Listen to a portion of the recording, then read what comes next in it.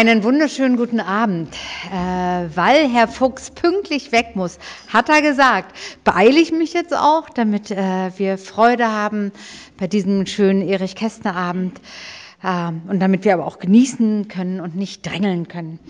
Ich fange mal mit dem Schluss bitte an, äh, weil Axel immer schimpft, wenn ich das vergesse. Also am Sonnabend, den 17. August um 18 Uhr haben wir, zeigen wir hier einen Film, Domino im Kosmos des Geldes. Das ist ein Dokumentarfilm von Sascha Adamek, ein Journalist, Autor und Filmemacher äh, mit anschließender Diskussion. Und ich verspreche, es wird ein sehr spannender Film. Da bleibt ja manchmal die Luft weg. Ähm, also herzlich willkommen am 17. August. So, jetzt. Liebe Freunde, liebe Begleiter unseres Vereines, schon seit Wochen freue ich mich wirklich sehr aufrichtig auf diesen Erich Kästner Abend. Ich habe ihn in Dresden schon zweimal mit Freunden gesehen und auch ein drittes Mal herzlich gerne freue ich mich jetzt darauf. Ähm, Bevor ich jedoch unsere Gäste Friedrich Wilhelm Junge und Michael Fuchs ganz kurz vorstelle, möchte ich sehr gerne einer Bitte unseres Vorstandsmitglieds Jens Czalay nachkommen. Er weist darauf hin, dass heute letztmalig die Ausstellung äh, mit Arbeiten der iranischen Künstlerinnen Manas und Taheri Pirabi zu sehen sein wird. Nach der Veranstaltung können Arbeiten gekauft worden, sowohl die kupfergetriebenen Reliefs, die Sie dort sehen, äh, auch die Bilder und Gefäße. Wir danken Ali Pirabi, den Bruder der beiden Künstlerinnen und Kurator der Ausstellung, dass er die beiden Künstlerinnen unterstützt. Herzlich willkommen. So.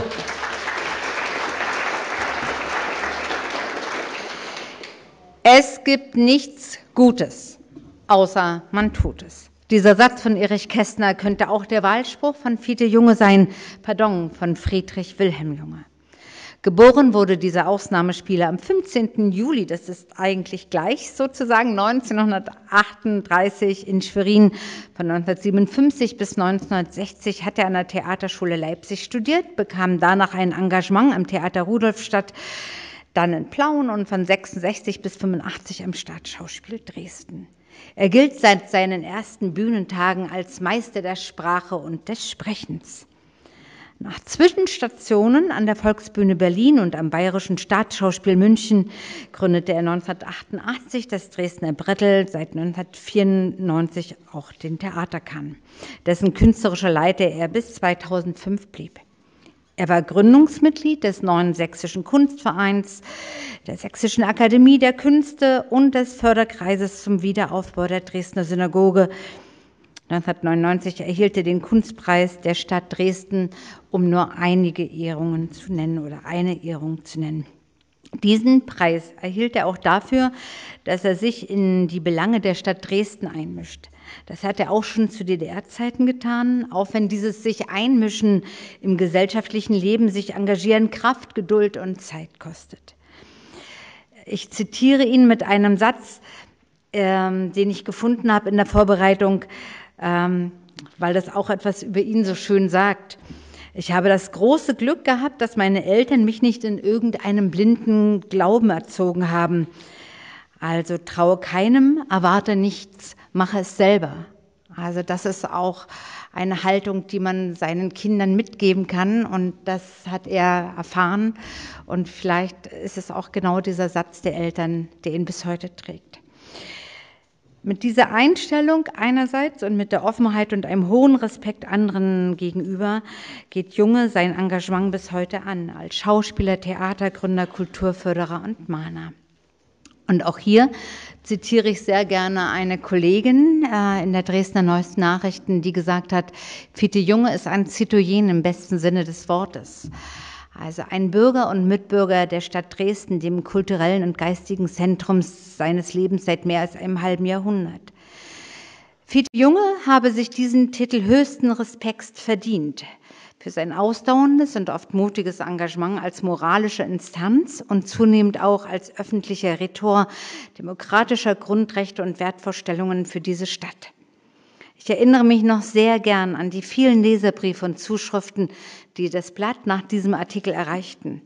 Selten gab es so viel Zustimmung für einen Artikel, für eine Gratulation.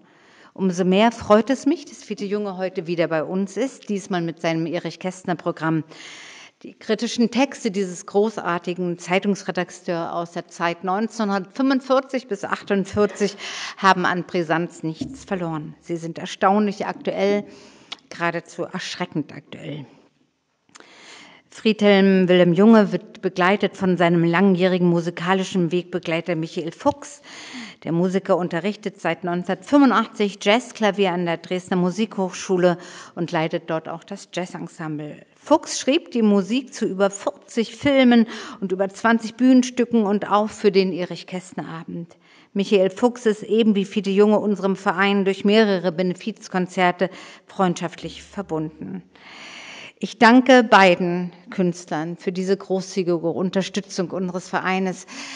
Dass Sie alle gekommen sind, ähm, das freut mich auch, weil wir haben natürlich im Vorfeld dann immer Angst, funktioniert das? Ne? Es ist montags, werktags, aber für jemanden wie Fiete Junge, offensichtlich haben Sie alle Nerv und, oder für Texte von Erich ähm, Kästner. Ich wünsche uns allen viel Freude.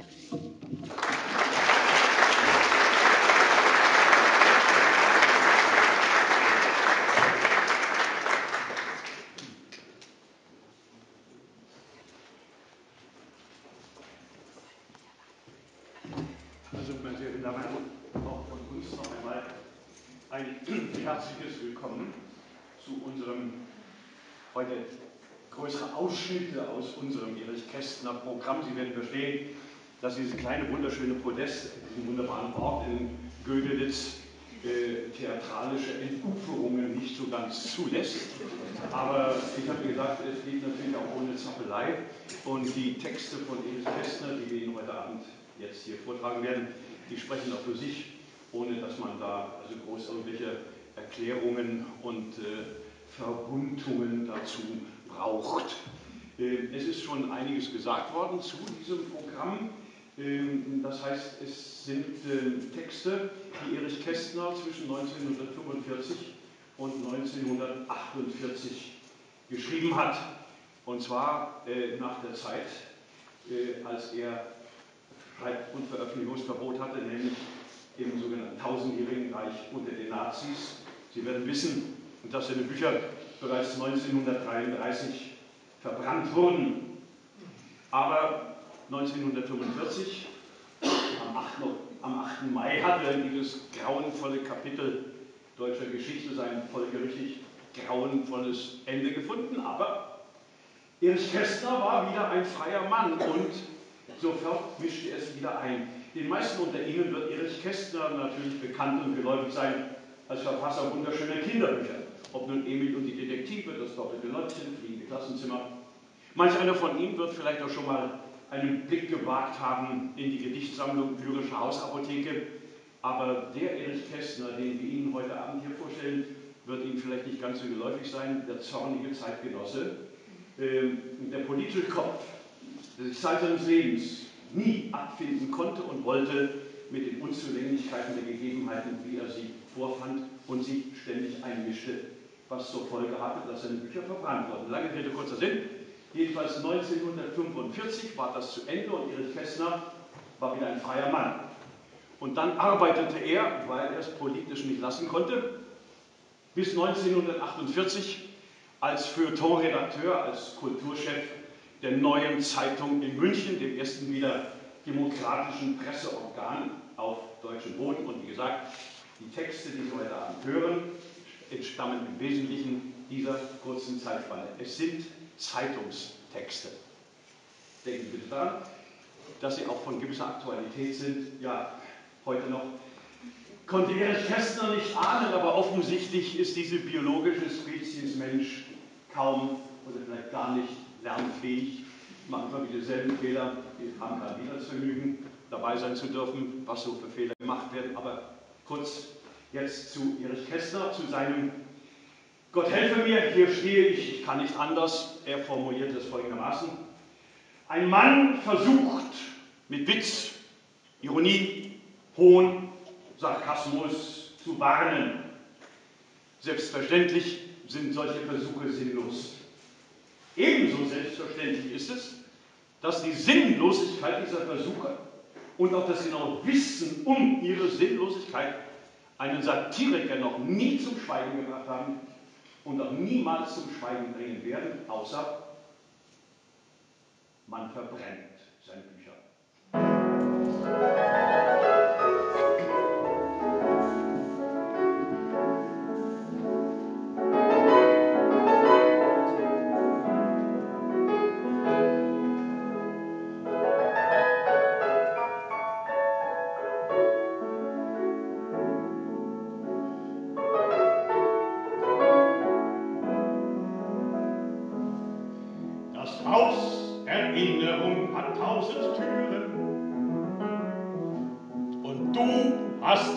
Weg umsonst gemacht. Du weißt nicht mehr, wohin die Türen führen. Und in den Korridoren lehnt die Nacht. Was einmal war, hier lebt es fort für immer. Auch wenn du selbst es längst vergessen hast.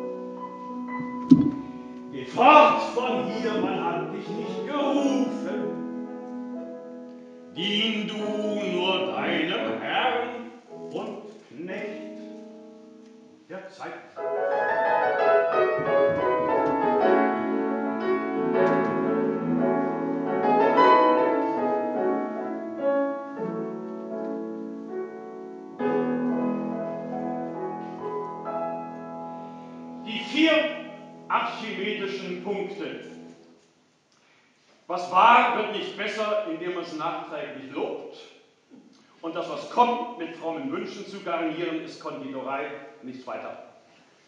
Es hat keinen Sinn, sich untereinander die Taschen voll zu lügen, sie bleiben leer. Es hat keinen Zweck, die Bilanz zu frisieren.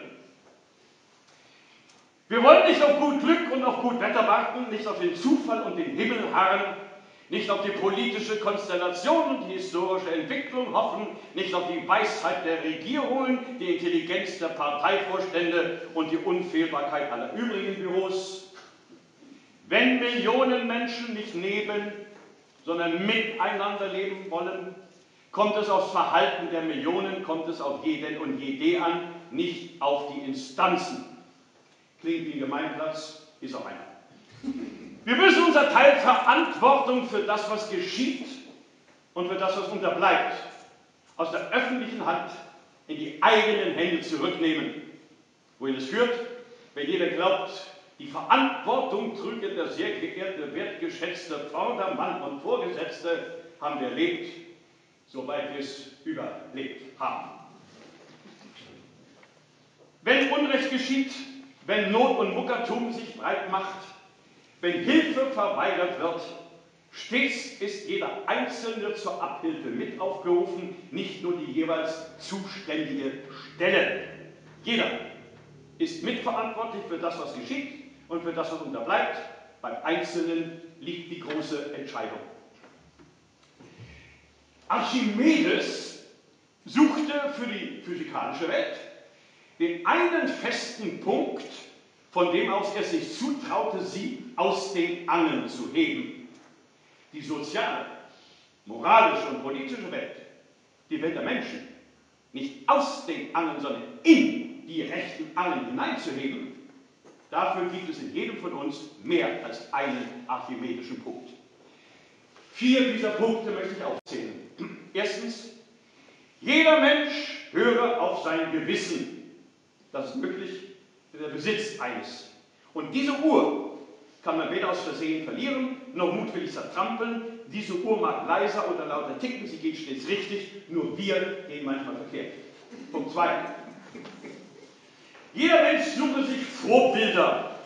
Das ist möglich, denn es existieren welche. Und es ist unwichtig, ob es sich dabei um einen großen toten Dichter, um Mahatma Gandhi oder um Onkel Fritz aus Braunschweig handelt, wenn es nur ein Mensch ist, der im gegebenen Augenblick ohne Wimpernzucken das gesagt und getan hätte, wovor wir zögern. Das Vorbild ist ein Kompass, der sich nicht irrt und uns Weg und Ziel weist. Punkt 3.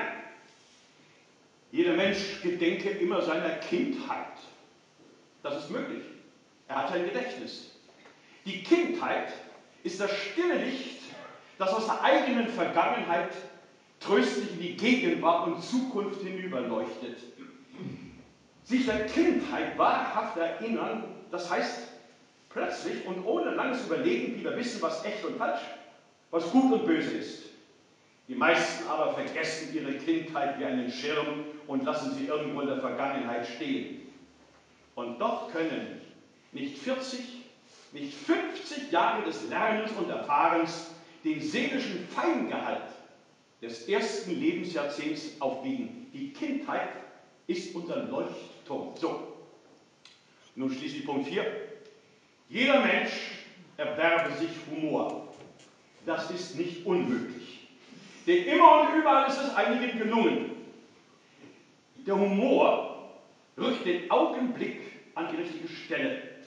Er lehrt uns die wahre Größenordnung und gültige Perspektive. Er macht die Erde zu einem kleinen Stern, die Weltgeschichte zu einem Atemzug und uns selber bescheiden. Das ist viel. Bevor man das Erb- und Erzübel, die Eitelkeit, nicht totgelacht hat, kann man nicht beginnen, das zu werden, was man ist. Ein Mensch. So, vier Punkte habe ich aufgezählt, um von ihnen aus die Welt, die aus den Fugen ist, einzurenken. Das Gewissen, das Vorbild, die Kindheit, den Humor, vier Angelpunkte, vier Programmpunkte, wenn man so will. Und damit habe ich unversehens eine Ansprache gehalten. Es lässt sich nicht mehr ändern, höchstens und konsequenterweise auf die Spitze treiben, indem ich andere geschätzten vor- und festgetretenen Folgen mit ein paar Versen schließe. Also, man soll das Jahr nicht mit Programmen beladen wie ein krankes Pferd.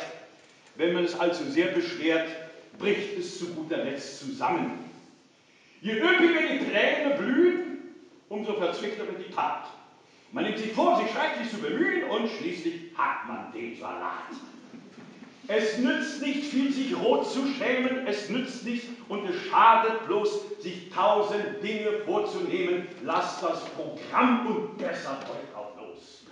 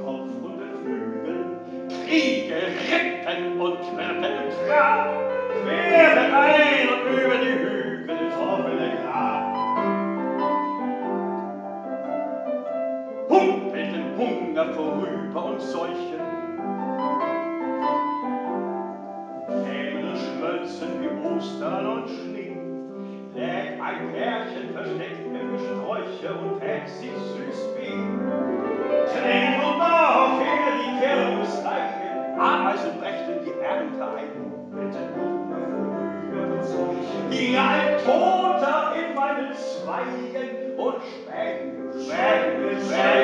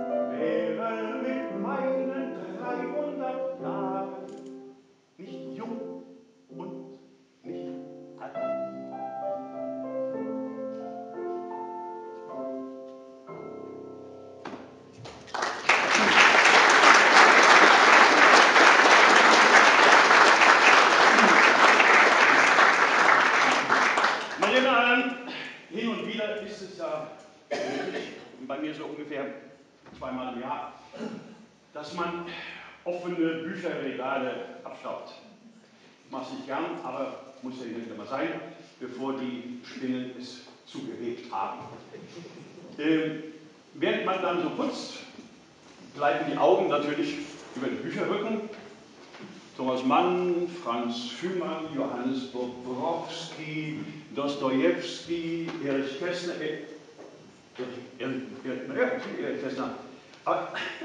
Dann unterliegt man doch immer wieder der Verführung, und das ist das Einzige, was dann beim Bücherabstauben Spaß macht, man unterliegt der Verführung, das scheinbar Bekannte doch noch einmal hervorzuziehen. So geschah es mir vor einigen Monaten mit Erich Kästner.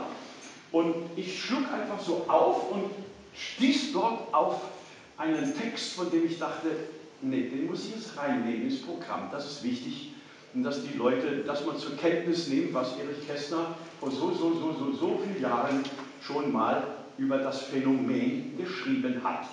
Bevor ich zu Erich Kästner und seinem Text komme, eine kleine Vorbemerkung. Meine sehr verehrten Damen und Herren, Sie haben sich vorgenommen, wieder einmal in die Oper zu gehen, und zwar Figaros Hochzeit. Sie haben sich Karten besorgt, im Großen und Ganzen wissen Sie, worum es sich da handelt. Und äh, um es genau zu wissen, den vollen Genuss zu haben, denn nur was man wirklich weiß, kann man auch genießen, nehmen Sie Ihren Opernführer zur Hand, schlagen auf unter M. Mozart, Figaros Hochzeit. Aha, ja, Ende 18. Jahrhundert, Spanien, Sevilla einem Schloss, ein Graf, eine Gräfin, Figaro, Susanna, die Kammerzofe, eine Intrige. Ja, ah ja, okay, jetzt weiß ich Bescheid. Sie sitzen in der Oper, das Licht am Kronleuchter erlischt, die Ouvertüre hebt an, Sie lehnen sich zurück, ganz entspannt, wunderbar. Mozart, herrlich. So, jetzt. Jetzt öffnet sich der große rote Vorhang. Und was sehen Sie? Hornbachs Baumarkt. Sie wollten Figaros Hochzeit. Musik klingt auch so, aber Hornbachs Baumarkt. Spanien, Schloss, so. Nein, nein, nein. Äh, der Graf ist der Verwaltungschef die Gräfin ist die Personalchefin. Susanna, die Kammerzofe, sitzt an der Kasse. Und äh, Figaro ist Lagerleiter. Da wird gesungen und das.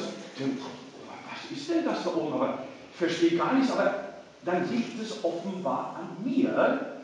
Denn diejenigen, die das da oben so angerichtet haben, das sind ja Fachleute, die verstehen es ja. Nur ich bin zu dumm, es zu begreifen. Zu den Fachleuten kommen wir nachher nochmal. So, meine Damen und Herren, jetzt behalten Sie das bitte mal so im Kopf durch diese Brille. Und jetzt der Text von Erich Kästner. Über den Tiefsinn im Parkett. Vor längerer Zeit sah und hörte ich in einem Berliner Theater ein Schauspiel, das auf fast allen namhaften Bühnen gespielt worden ist, obwohl es nichts taugt. Ich werde weder den Titel noch den Verfasser nennen, da mir es, nicht, da mir es um etwas anderes zu tun ist, als mich darüber zu mokieren, dass gute Autoren gelegentlich schlechte Stücke schreiben.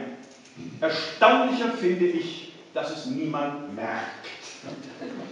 Der große französische Philosoph Voltaire fand es nicht erstaunlich und sagte zu einem jungen Mann, dessen Erstlingswerk er gelesen hatte, so schlechte Sachen dürfen Sie erst schreiben, wenn Sie berühmt sind. Ein solches Stück also sah ich vor längerer Zeit in Berlin. Und da es nicht sehenswert war, betrachtete ich das Publikum und was sah ich? Ehrfürchtig umflorte Augen, Stirnen voller Falten, atemlos geöffnete Lippen, in die Hand versenkte Grübelköpfe als Banker auf den Brettern König Lear über die Heide. Stattdessen kam ein junger Lord von einer ausführlichen Reise zurück und eröffnete den versammelten Verwandten, dass er nicht wisse, ob er seine Frau über die Reling ins Meer gestoßen habe oder ob sie von selbst hineingefallen und ertrunken sei. Dann reiste er im letzten Akt ab, um Missionar zu werden. So. Verdrießlich war nicht die im Dialog vorgetäuschte Tiefe, sondern der Taschenspielertrick. mit dem diese Tiefe vorgetäuscht wurde. Der Kniff war jedes Mal derselbe. Jedes Mal. Wenn die Trivialität und Dummheit faustdick zu werden drohte, und dies geschah unentwegt, sagte eine Bühnenfigur zu irgendeiner anderen mit elektrischer Stimme, du kannst mich nicht verstehen oder ich kann es dir nicht erklären oder auch wenn ich es dir zu erklären versuchte, du verstündest es nicht. Die Zuschauer dachten, es muss sich um ein tiefes, bedeutendes Stück handeln, nicht einmal die Mitspieler verstehen es. Erstmals. Das Publikum saß also im Theater und ließ sich zu hohen Eintrittspreisen für dumm verkaufen. Es ließ sich weismachen, ein Stück, das flach war, sei tief. In der ersten Pause verriet ich meiner Begleiterin den Trick. Ich muss das wohl ziemlich laut getan haben, denn als das Stück weiterging, lachte etwa ein Dutzend Menschen links, rechts, vor und hinter uns jedes Mal hell auf, wenn auf der Bühne schon wieder jemand jemandem etwas nicht erklären könne, was er sowieso nicht verstünde. Die bis zum Schluss äußerst vergnügte kleine Gruppe wurde von den übrigen Schälen angesehen, es wurde getischt und an der Garderobe hätte einer der vergnügten Gruppe von einem düsteren Tiefdenker beinahe einzeln in die Ohren geschickt.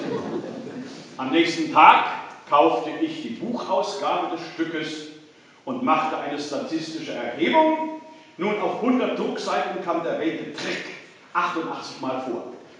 Und die Leute hatten es nicht gemerkt. Wer Ohren hat zu hören, der höre, heißt es in der Bibel, dem Buch der Bücher. Aber wer richtet sich danach? Die meisten Menschen haben ihre Ohren wohl nur, damit ihnen der Hut nicht über die Nase rutscht. Also, meine sehr verehrten Damen und Herren, wenn Ihnen demnächst etwas Ähnliches widerfahren sollte, dann trauen Sie Ihrem sogenannten guten, normalen Menschenverstand, trauen Sie sich bitte zu sagen, nicht die Fachleute haben recht, sondern der Kaiser ist nackt.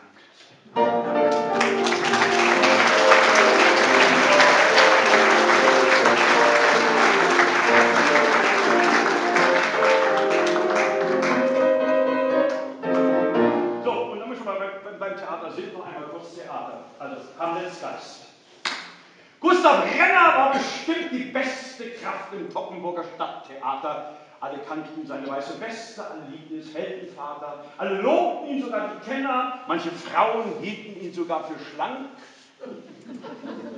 Schade war nur, dass sich Gustav Renner, wenn er Geld besaß, enorm betrank. Eines Abends, als man Hamlet gab, spielte er den Geist von Hamlets Vater.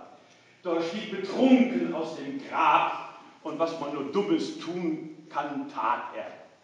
Hamlet war aufs Äußerste bestürzt, denn der Geist fiel völlig aus der Rolle und die Szene wurde abgekürzt. Gustav Renner fragte, was man von ihm wolle. Man versuchte hinter den Kulissen, ihn von seinem Rausche zu befreien, legte ihn lang hin und gab ihm Kissen und dabei schlief Gustav Renner ein. Alle spielten nun es Akt, weil er schlief und sie nicht länger störte. Doch er kam im nächsten Akt, wo er durchaus nicht hingehörte.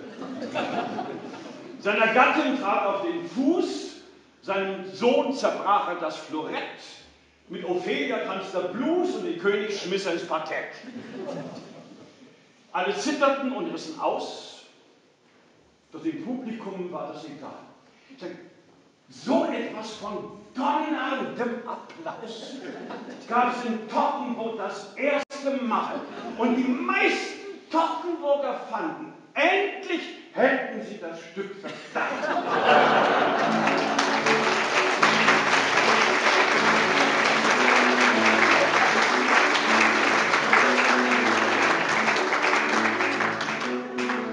Haben die Kerls auf den Bäumen gehockt, verharrt und mit böser Visage. Urwald gelockt und die Welt asphaltiert und aufgestockt. Bis zur 30. Etage, bis zur 30. Etage. Da saßen sie nun, den Flöhen flohen, in zentral geheizten Räumen. Da sitzen sie nun am Telefon und es herrscht noch genau derselbe Ton wie seinerzeit auf den Bäumen. Bäumen. Sie hören weit, sie sehen fern, sie sind mit den Wäldern in Fühlung, sie putzen die Zähne, sie atmen modern. Die Erde ist ein gebildeter Stern mit sehr viel Wasserspülung. Sie schießen die Briefschaften durch ein Rohr, sie jagen und züchten Mikroben, sie beziehen die Natur mit allem Komfort. Sie fliegen steil in den Himmel empor und bleiben zwei Wochen oben. Was ihre Verdauung übrig lässt, das verarbeiten sie zu Watte. Die spalten Atome, sie heilen Inzesten und sie stellen durch Stiluntersuchungen fest, dass Cäsar Plattfüße hatte. Cäsar Plattfüße hatte. Haben sie mit dem Kopf und dem Mund den Fortschritt der Menschheit geschaffen. Doch davon mal abgesehen und beim Lichte betrachtet, sind sie im Grund noch immer die alten Affen.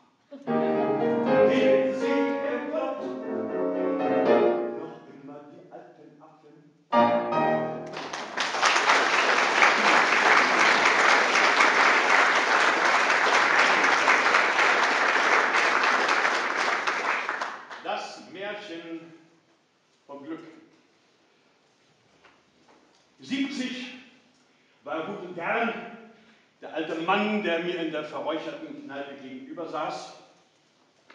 Sein Job sah aus, als habe es auch geschneit, und die Augen blitzten wie eine blank gefegte Eisbahn. Oh, sind die Menschen dumm, sagte er und schüttelte den Kopf, dass ich dachte, gleich müssten Schneeflocken aus seinem Haar aufwirbeln. Das Glück ist doch schließlich keine Dauerwurst, von der man sich täglich seine Scheibe herunterschneiden kann. Stimmt, meine ich. Das Glück hat ganz und gar nichts Geräuchertes an sich. Obwohl, obwohl, obwohl Sie aussehen, als hinge bei Ihnen zu Hause der Schicken des Glücks im Rauchfang. Oh, ich bin eine Ausnahme, sagte er. Ich bin die Ausnahme. Ich bin nämlich der Mann, der einen Wunsch frei hat. Er blickte mir prüfend ins Gesicht und dann erzählte er seine Geschichte. Ach, das lange her, begann er sehr lange und stützte den Kopf in beide Hände. 40 Jahre. Ich war noch jung und litt am Leben wie an einer geschwollenen Backe. Da setzte sich, als ich eines Mittags verbittert auf einer grünen Parkbank hockte, ein alter Mann neben mich und sagte beiläufig, also gut, wir haben uns überlegt, du hast drei Wünsche frei. Ich starrte meine Zeitung und tat, als hätte ich nichts gehört. Wünsch dir, was du willst, sagte er. Das meiste Geld, die schönste Frau, den größten Schnurrbart, das ist deine Sache, aber werde endlich glücklich. Deine Unzufriedenheit geht uns auf die Nerven. Er sah aus wie der Weihnachtsmann in Zivil. Weißer Vollbart, rote Apfelbäckchen, Augenbrauen wie aus Christbaumwatte, ganz verrücktes, vielleicht ein bisschen zu gutmütig. Nachdem ich ihn eingehend betrachtet hatte, starrte ich wieder in meine Zeitung.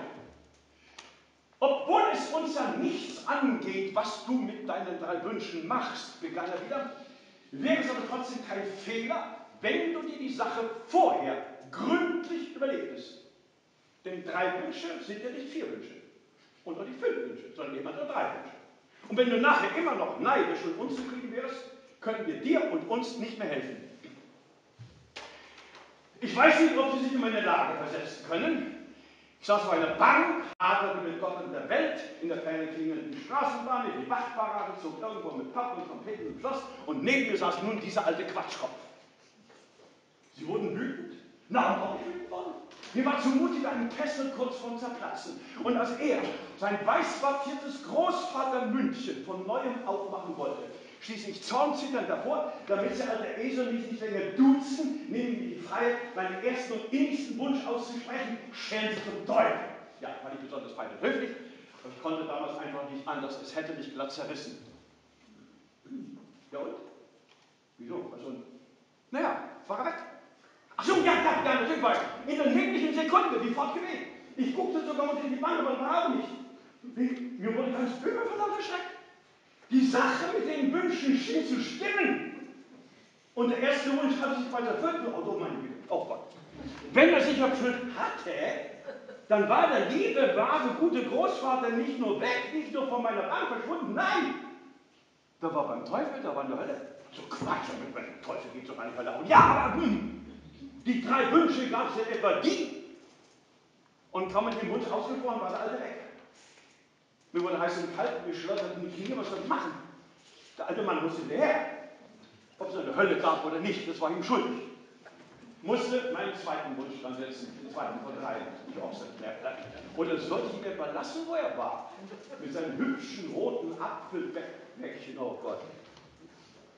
Bratapfelbäckchen, lachte ich, schaut an. Also, ich schloss die Augen und flüsterte ängstlich, ich wünsche mir, dass der alte Mann wieder neben mir sitzt. Kann sagen, ich habe mir jahrelang bis in den Traum hinein die bittersten Vorwürfe gemacht, dass ich den zweiten Wunsch auf diese Weise verschleudert habe. Aber ich sah damals einfach keinen anderen Ausweg. Es gab auch keinen.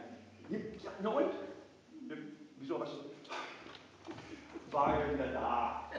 Ach so, ja, ja, ja, natürlich war er da. In der Nebensekunde. Er saß wieder neben mir, als wäre er nie fortgewünscht gewesen. Das heißt, ich meine, also man sah es ihm schon an, dass er irgendwo gewesen war. Es doch sehr, sehr heiß gewesen. Die buschigen weißen Augenbrauen, die waren wild verbrannt. Der schöne Vollbart hatte auch gelitten, besonders an den Rändern. Und außerdem roch es wie nach versenkter Gans. Er blickte mich vorwurfsvoll an, dann zog ein Bartbürstchen aus der Brusttasche, putzte sich Bart und Brauen und sagte gekränkt, also hören Sie mal, Mann, Vereinbart habe ich von Ihnen. Ich stotterte eine Entschuldigung, wie leid es mir täte. Ich hätte doch nicht an die drei Wünsche geglaubt und immerhin hätte ich ja versucht, die Sache wieder gut zu machen. Naja, mein Herr, wurde höchste Zeit. So. Und dann lächelte er. Und er lächelte so gutmütig, dass mir fast die Tränen kamen. Und nun haben Sie nur noch einen Wunsch frei, sagt er, den dritten. Mit dem Gehen Sie hoffentlich etwas vorsichtiger um. Versprechen Sie mir das. Ich nickte und schluckte Ja, antwortete ich, aber nur, wenn Sie mich wieder duzen. Nein, da musste er lachen.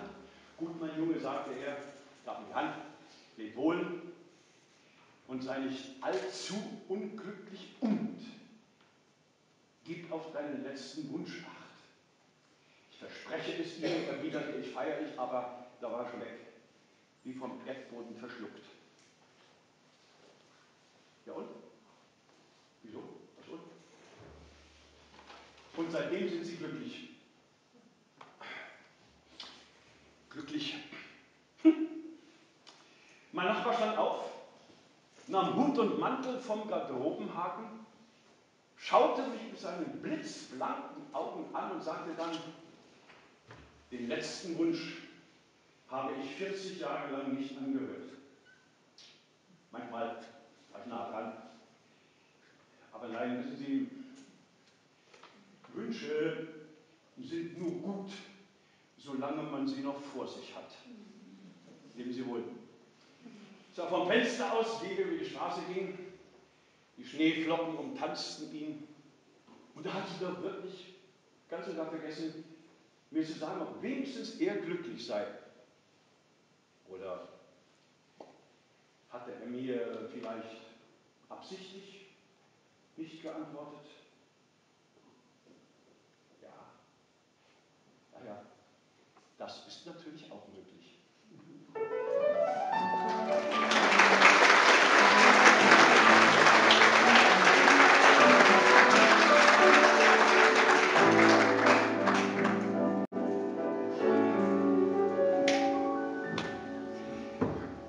Das Glück, Sie, ähnelt, Sie verzeihen, zum Beispiel. Durch manche Türen tritt man ein, durch andere tritt man aus.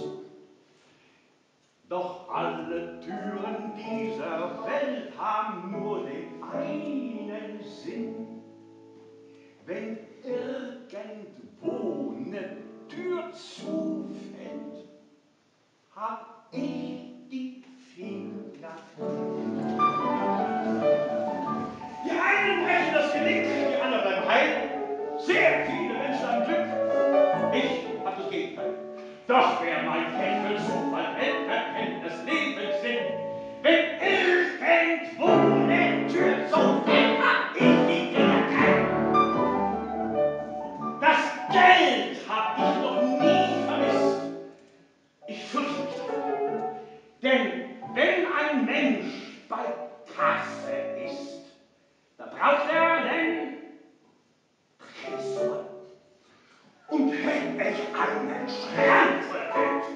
Geh ich nicht.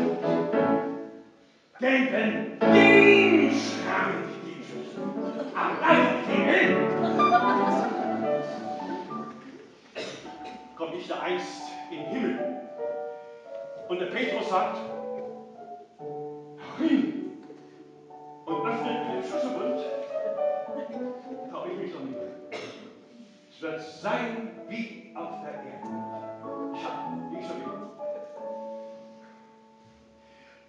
Wenn dann die Himmelstür zufällt, ja auch die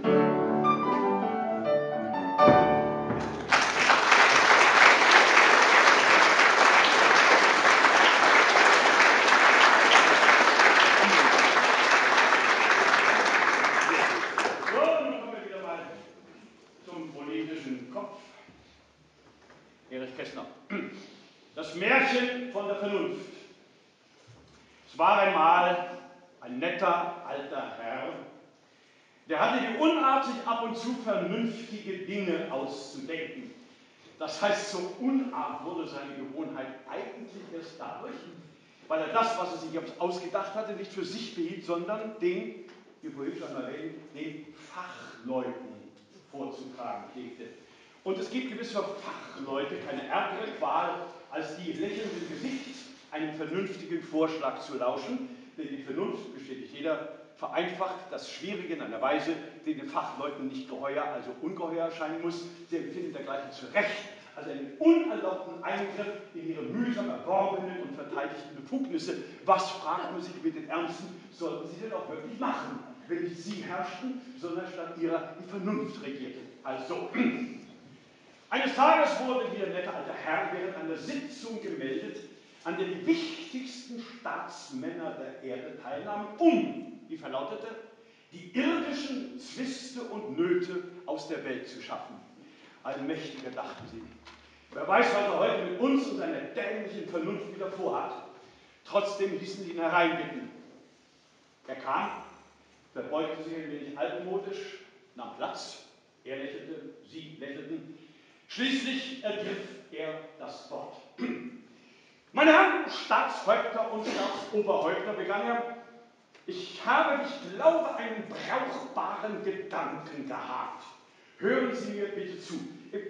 Sie sind es nicht mir, doch der Vernunft sind Sie schuldig. Sie nickten, gequält, lächelnd mit ihren Staatshäuptern und er fuhr fort.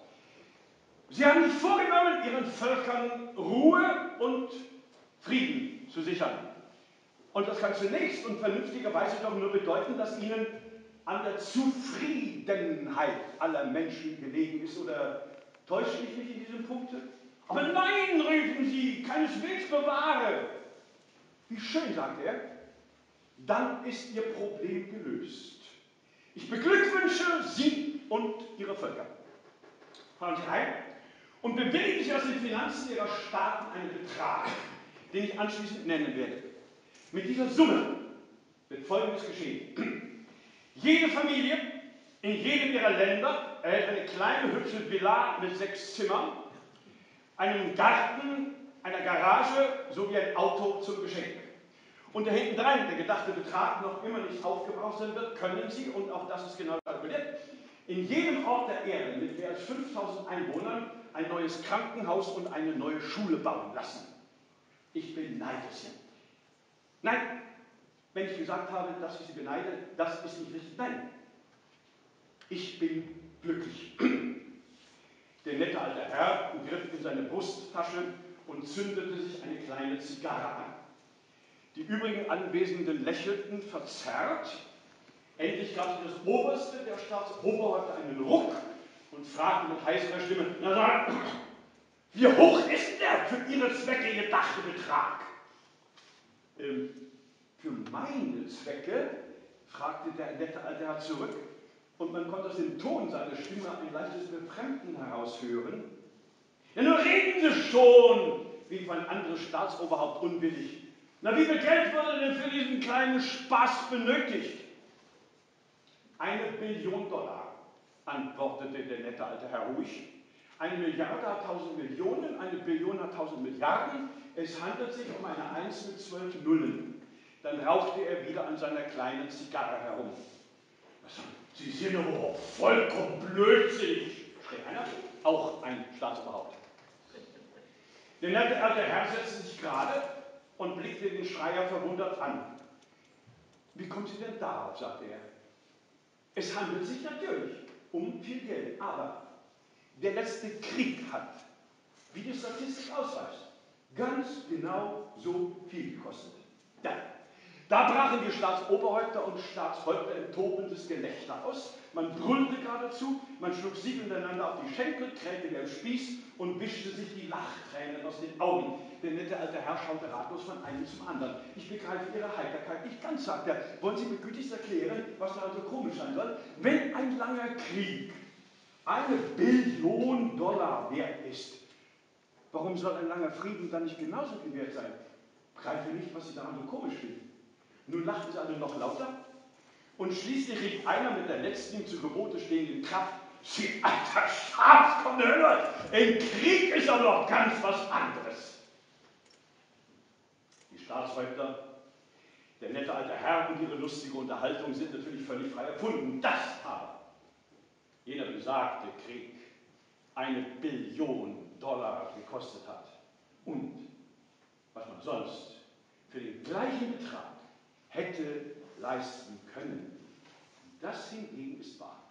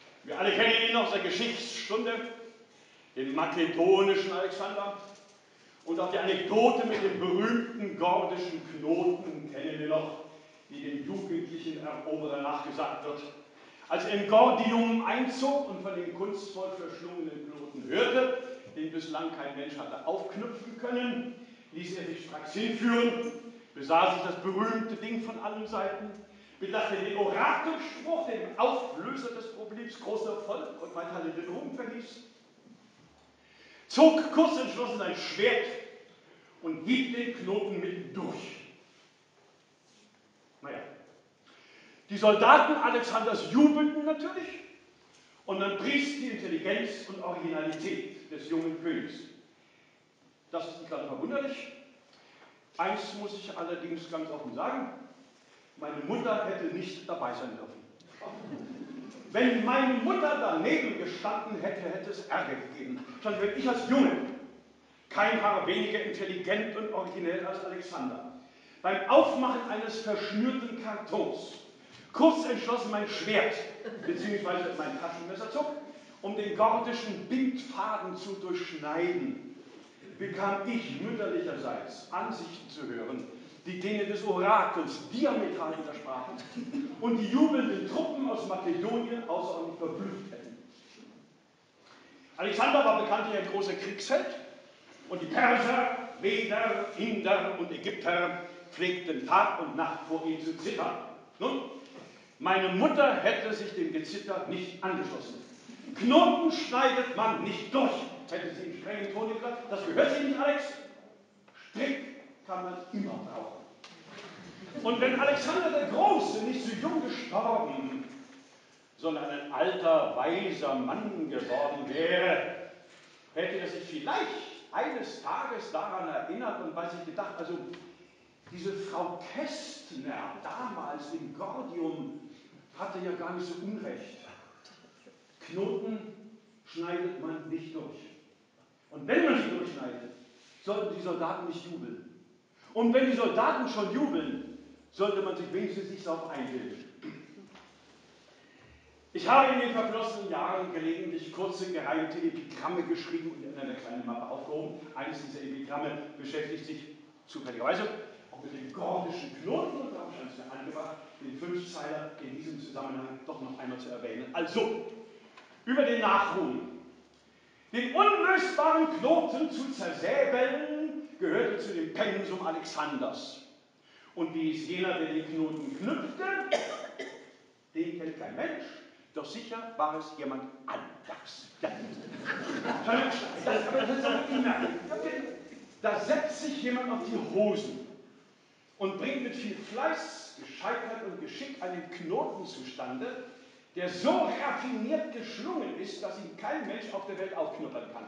Und den, der dieses Kunststück fertig machte, hat uns die Geschichte nicht überliefert. Aber wer das Taschenmesser rauszog, das wissen wir natürlich. Die Historiker haben seit Jahrtausenden eine Schwäche für die starken Männer. Auf steinernen Tafeln, auf Papyrusrollen, auf Pergamenten und in dicken Büchern schwärmen sie von Leuten, welche die Probleme der Welt mit Schwertstreichen zu lösen versuchen. Aber darüber zu schreiben, wie sich die Fäden des Schicksals unlösbar verschlangen, das interessiert sie viel weniger. Und darüber zu berichten, wie seltsame Idealisten solche Schicksalsverknotungen, die sich allen Hallen bilden, friedlich entwirren wollen, das ödet sie an. Nein, dem Zerhacken von Knoten gilt ihr penellerhaftes Interesse. Und sie haben nicht wenig dazu beigetragen, die alten gordischen Methoden in Ansehen und am Leben zu erhalten. Wir haben doch gerade wieder das Vergnügen, dabei sein zu dürfen, wie solche Knoten zersäbelt, statt mühselig aufgedröselt werden. Es ist kolossal interessant. Haare stehen uns Berge, soweit sie uns nicht ausgegangen sind. Und während sich auf internationalen Konferenzen Abgesandte aus aller Welt abmühen, die neuen Knoten, die sich anhalten bilden, friedlich zu entwirren. Sitzen doch nicht zuletzt bei uns schon wieder Anhänger der Säbeltheorie herum und knurren. Ist alles Quatsch! Irgendeine Glibborn! Durchhacken ist das einzig Denkliche! Ich finde, man sollte langsam dazu übergehen, statt der Knoten die Leute durchzuhauen, die solche Ratschläge geben.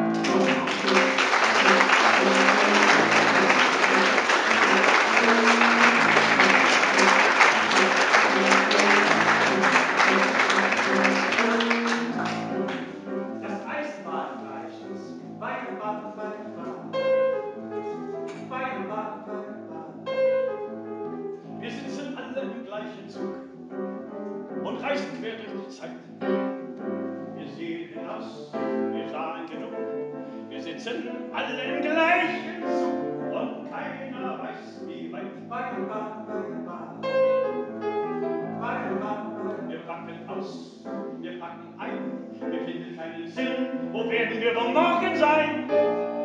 Der Schaffner schaut zur Tür herein und lächelt vor sich hin.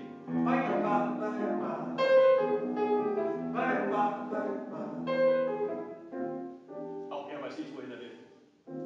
Er schweigt und geht hinaus. Doch heult die Zugsirene schrill. Der Zug wird langsam und hält still. Die Toten steigen aus. Aus, die Mutter schreit, die Toten stehen Stunden am Bahnsteig der Vergangenheit. Der Zug hat weiter, er jagt durch die Zeit und keiner weiß, warum.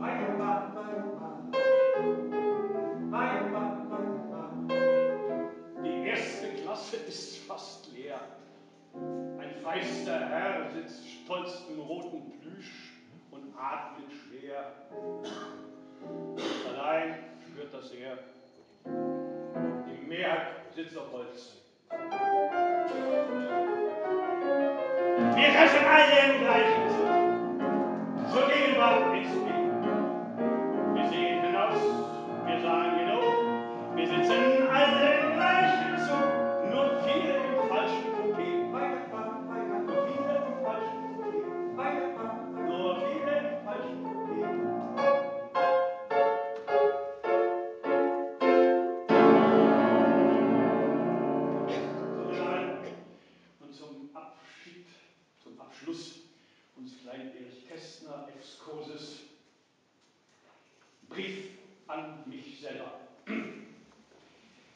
Mein lieber Kästner, früher schriebst du Bücher, damit andere Menschen, Kinder und auch solche Leute, die nicht mehr wachsen, lesen, was du gut oder schlecht, schön oder abscheulich zum Lachen oder Weinen fandest.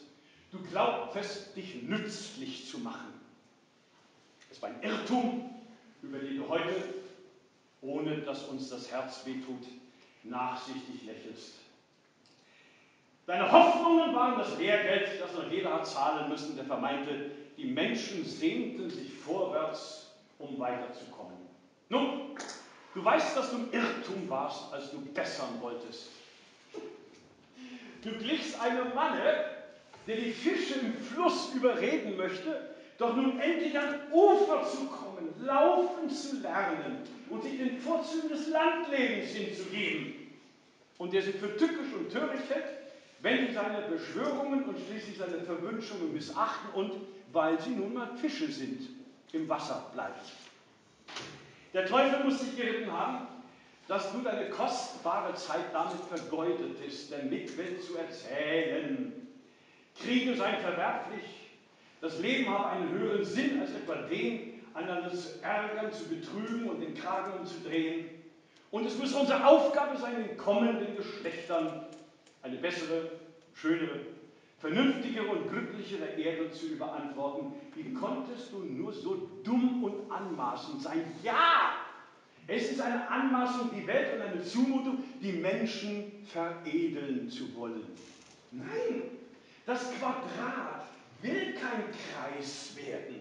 Selbst dann nicht, wenn man es doch überzeugen könnte, dass der Kreis die vollkommenere Figur sei. Die Menschen lehnen es seit Jahrtausenden mit Nachdruck ab, sich von uneigennützigen Schwärmern zu Engeln umschulen zu lassen. Sie nehmen diesen Engelmachern die Habe, die Freiheit und auch noch das Leben. Schau mal, Sokrates, Campanella, Morus waren gewaltige Dickköpfe. Sie rannten im Namen der Vernunft mit dem Kopf gegen die Wand und gehen dank komplizierten Schädelbrüchen in die Lehrbücher der Geschichte ein. Die Wände, gegen die angerannt wurde, stehen nach wie vor unverrückt am alten Fleck. Und nach wie vor verbergen sie den grenzenlosen Horizont. Deshalb rief Immanuel Kant, zum Himmel empor und ins eigene Herz zu blicken. Doch auch davor scheuen die Menschen zurück, denn sie brauchen Schranken. Und wer sie beschränkt nimmt, sollte das gelassen tun und nicht im Zorn. Wer die Menschen ändern will, beginnt bei sich selbst, lautet ein altes Wort, das doch aber nur den Anfang einer Wahrheit mitteilt. Wer die Menschen ändern will, beginne nicht nur bei sich, sondern höre auch bei sich selbst damit auf. So. Mehr wäre hierüber im Augenblick nicht zu schreiben. Der Rest verdient gelebt zu werden, versuchen Sie gewiss, dass man weiter. Dein unzertrennlicher Freund Erich Kästner.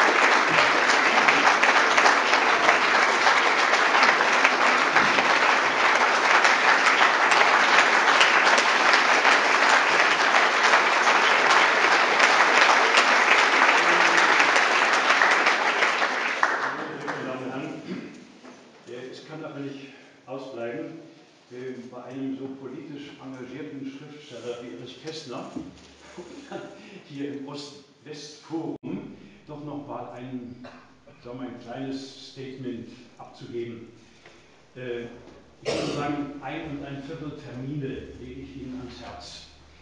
Der erste ist der 1. September. Ja. Ich habe es auch in meinem Theater bei jeder Gelegenheit, immer wenn es nur unmöglich war, gesagt, meine sehr geehrten Damen und Herren, wählen Sie, was Sie wollen. Sie haben eine Freiwahl. Nur eine Partei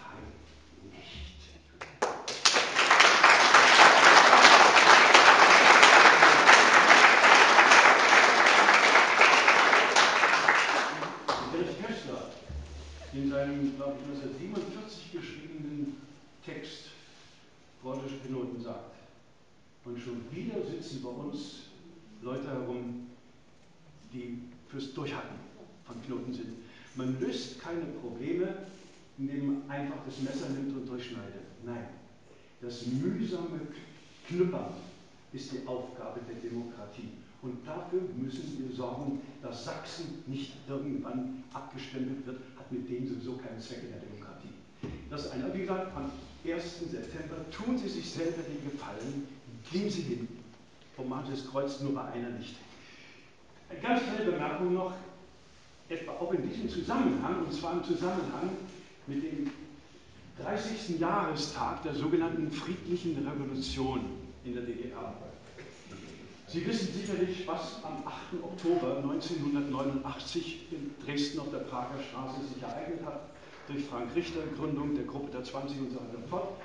In diesem Zusammenhang hat mir damals, oder kam mir damals den Gedanken, oder der Gedanke, äh, ein Programm zu machen, was sich damit beschäftigt, äh, was wollen die Menschen eigentlich, die nach Freiheit rufen? wollen Sie damit auch natürlich all die Gefährdungen mit in Kauf nehmen, die der freie Urwald mit sich bringt. Da waren Menschen, die lebten über 40 Jahre in einem Käfig, sahen draußen die Vögel im Urwald herumfliegen, sagten, dieses bunte Zeug wollen wir auch gerne haben. Sie kriegten ein kleines Futterchen, dann machten sie selber die Käfigtür auf, flogen raus und wunderten sich jetzt, dass es im Urwald auch Wildtiere gibt. Jetzt schon wieder bei vielen Leuten die Sehnsucht, in den Käfig eingesperrt, um der Sicherheit willen. Das gibt es nicht. Wir müssen mit der Freiheit schon klarkommen. Lange Rede, kurzer Sinn. Wenn Sie Zeit, Lust und Laune haben, ich würde Sie sehr, sehr gerne begrüßen, sind wir beide zugange, am 7. Oktober, 19 oder 20 Uhr, ich weiß nicht genau, in der nun wieder erstandenen Bussmann-Kapelle in Dresden. Äh, Dostoevsky, der Großinquisitor, das Kapitel aus den Brüdern Karamasow. Kann der Mensch mit dem Gottesgeschenk Freiheit umgehen? Ja oder nein? Zu diesem Thema hat Dostoevsky einen brillanten Text geschrieben und ich würde mich sehr freuen, wenn wir uns am 7. Oktober in der Bussmann-Kapelle in Dresden wiedersehen können. Ansonsten einen wunderschönen Sommer. Beten Sie zum lieben Gott, wenn es ihn gibt, er möge es regnen lassen. Ja.